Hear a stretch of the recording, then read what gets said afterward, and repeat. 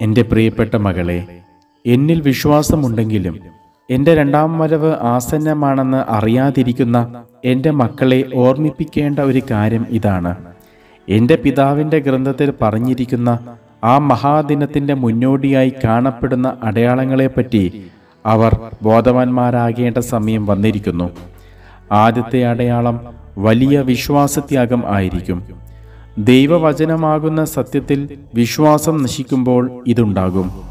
ലോകത്തിലെല്ലായിടത്തും പാപത്തെ മഹനീയമാക്കി ഉയർത്തിപ്പിടിക്കുമ്പോഴാണ് ഇത് സംഭവിക്കുന്നത്. സഭക്കുള്ളിൽ നിന്ന് തന്നെയുള്ള വിശ്വാസത്യാഗം എന്റെ സഭയെ ക്രിസിക്കുമ്പോൾ എന്റെ രണ്ടാം വരവ് വളരെ അടുത്തു എന്നതിന്റെ സൂചനയായി അതിനെ പരിഗണിക്കാം. എന്റെ സഭയെ നയിക്കാൻ ഞാൻ നിയോഗിച്ചു എന്ന് സ്വയം അവകാശപ്പെട്ടുകൊണ്ട് പ്രശസ്തിക്ക് വേണ്ടി ലൗകികതയിൽ മുഴുകാൻ തുടങ്ങുന്നവരെ കാണുമ്പോൾ മാറ്റങ്ങൾ ആരംഭിച്ചിരിക്കുന്നു എന്ന് ഓർത്തുകൊള്ളുക. എന്റെ കുരിശമരണമാകുന്ന മഹാത്യാഗത്തെപ്പറ്റി തർക്കങ്ങൾ ഉണ്ടാകുകയും എന്റെ ദിവ്യകാരുണ്യത്തിന് പുതിയ അർത്ഥങ്ങൾ കൽപ്പിക്കപ്പെടുകയും ചെയ്യുമ്പോൾ എന്റെ സഭ മരുഭൂമിയിലേക്ക് തള്ളപ്പെടാൻ സമയമായിരിക്കുന്നു എന്ന് നിങ്ങൾ അറിയുക. എന്റെ സഭ എന്ന് പറയുമ്പോൾ ഞാൻ ഉദ്ദേശിക്കുന്നത് സത്യത്തിൽ നിന്നും വ്യതിചലിക്കാതെ പഴയതുപോലെ തന്നെ ദൈവവചനത്തെ സ്വീകരിക്കുന്ന സഭയാണ് എന്റെ യഥാർത്ഥ സഭ റോമിൽ നിന്ന് പുറന്തള്ളപ്പെടുകയും വളരെ കാലം വിപ്രവാസം അനുഭവിക്കേണ്ടി വരികയും ചെയ്യും. വിജാതീയരാൽ ചവിട്ടിമെതിക്കപ്പെട്ട് സഹിക്കേണ്ടി വരും. എന്നാൽ എന്റെ കൃപയാൽ അത് അപങ്കുരം പരിപാലിക്കപ്പെടും. ഞെരുക്കങ്ങളിൽ എന്നെ ഉപേക്ഷിക്കാതിരിക്കാൻ ധൈര്യം കാണിക്കുന്നവർക്ക് അസാധാരണ കൃപകൾ നൽകപ്പെടും. സഭയുടെ ചട്ടക്കൂടിനുള്ളിൽ അത്ഭുതങ്ങൾ രോഗശാന്തികൾ മുതലായ പേരുകളിൽ മ്ലേച്ഛതകളും കപട വിനയ പ്രകടനങ്ങളും കപടമായ ആഗോള മാനവ സ്നേഹവും നടമാടുമ്പോൾ എന്റെ യഥാർത്ഥവും അത്ഭുതകരവുമായ ഇടപെടലുകൾ ഉണ്ടാകും. എന്നെ നിന്ദിക്കുകയും അവഹേളിക്കുകയും ചെയ്യുന്നവർക്ക് കുരിശുദ്ധ പ്രാർത്ഥന ഗ്രൂപ്പുകളിലൂടെ പരിശുദ്ധാത്മാവിന്റെ സാന്നിധ്യം ഞാൻ മനസ്സിലാക്കി കൊടുക്കും. ഈ കുരിശുദ്ധ പ്രാർത്ഥന കൂട്ടായ്മകളിലേക്കും ഈ പ്രാർത്ഥന ചൊല്ലുന്നവരിലേക്കും വളരെ അത്ഭുതങ്ങൾ വർഷിച്ചുകൊണ്ട് മതപീഡനത്തെ അതിജീവിക്കാൻ ഞാൻ അവരെ ശക്തരാക്കും. ഞാൻ പറയുന്ന മതപീഡനം പ്രധാനമായും ആത്മീയമാണ്.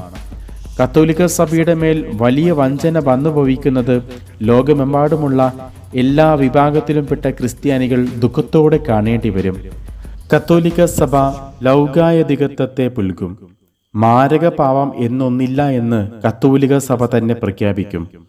പാപം എന്നൊരു കാര്യം ഉണ്ടെന്ന് അംഗീകരിക്കുകയില്ല. എന്റെ സ്വർഗരാജ്യത്ത് പ്രവേശിക്കുന്നത് ബുദ്ധിമുട്ടുള്ള കാര്യമല്ല എന്നു പറഞ്ഞ് അവർ നിഷ്കളങ്കരെ വഞ്ചിക്കും. ഇപ്പോഴുള്ളതുപോലെ കുംഭസാരം അതിന്റെ യഥാർത്ഥ രൂപത്തിൽ ഇല്ലാതാകും. രക്ഷയ്ക്കു വേണ്ടി തങ്ങൾക്കിഷ്ടമുള്ളതുപോലെ എങ്ങനെ വേണമെങ്കിലും പ്രാർത്ഥിക്കാമെന്ന് അവർ ജനങ്ങളോട് പറയും. അങ്ങനെ വന്നാൽ ജനങ്ങൾ എന്നോട് മാപ്പ് അപേക്ഷിക്കാൻ കൂട്ടാക്കുകയില്ല.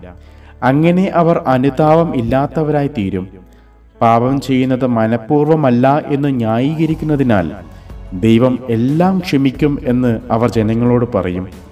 ലക്ഷക്കണക്കിന് ആത്മാക്കളെ നരകത്തിൽ തള്ളാൻ വേണ്ടി അന്ത്യകാലങ്ങളിൽ മനഃപൂർവം പ്രചരിപ്പിക്കപ്പെടാൻ പോകുന്ന ഇത്തരം നുണകളെപ്പറ്റി മുൻകാലങ്ങളിൽ പ്രവചിക്കപ്പെട്ടിട്ടുള്ളതാണ്. വ്യാജപ്രവാചകനും എതിർക്രിസ്തുവും കൂടിയാണ് ഇത്തരം തെറ്റുകളാൽ ജനങ്ങളെ നരകാഗ്നിയിലേക്ക് നയിക്കുന്നത്.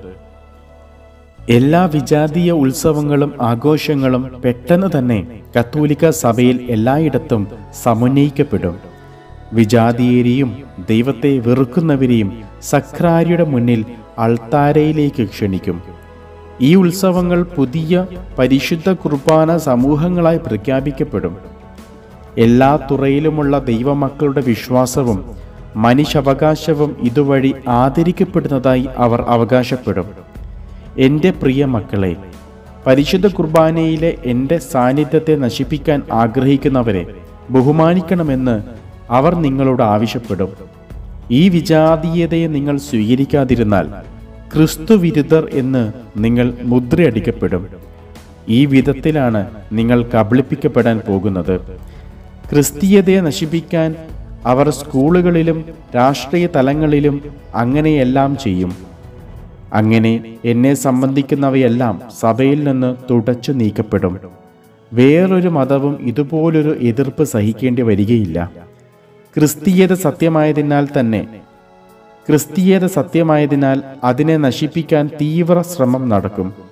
ഈ ദുഷ്ട നശീകരണത്തിന് മനഃപൂർവം സ്വതന്ത്ര മനസ്സോടെ പങ്കാളികളാകുന്നവർക്ക് തങ്ങളുടെ ആത്മാക്കൾ അന്ധകാരത്തിലാകുന്നതും തങ്ങളുടെ നിത്യരക്ഷ അപകടത്തിലാകുന്നതും മനസ്സിലാകുന്നില്ല. പിന്നീട് അവർ നിത്യരക്ഷയുടെ കാര്യം തന്നെ മറന്നുപോകും. എന്നെ ഒറ്റിക്കൊടുക്കുക ഞാൻ നിങ്ങളോട് ക്ഷമിക്കും. എന്നെ തള്ളിപ്പറയുക ഞാൻ നിങ്ങളോട് ക്ഷമിക്കും. എന്നാൽ നിങ്ങൾ എന്നെ അശുദ്ധമാക്കി മൃഗത്തോട് ഐക്യം പ്രഖ്യാപിച്ചാൽ നിങ്ങൾ എന്നിൽ നിന്ന് പൂർണമായി വിച്ഛേദിക്കപ്പെടുകയും എന്റെ കരുണ സ്വീകരിക്കാൻ പ്രാപ്തിയില്ലാത്തവരായി തീരുകയും ചെയ്യും. നിങ്ങളുടെ ഈശോ.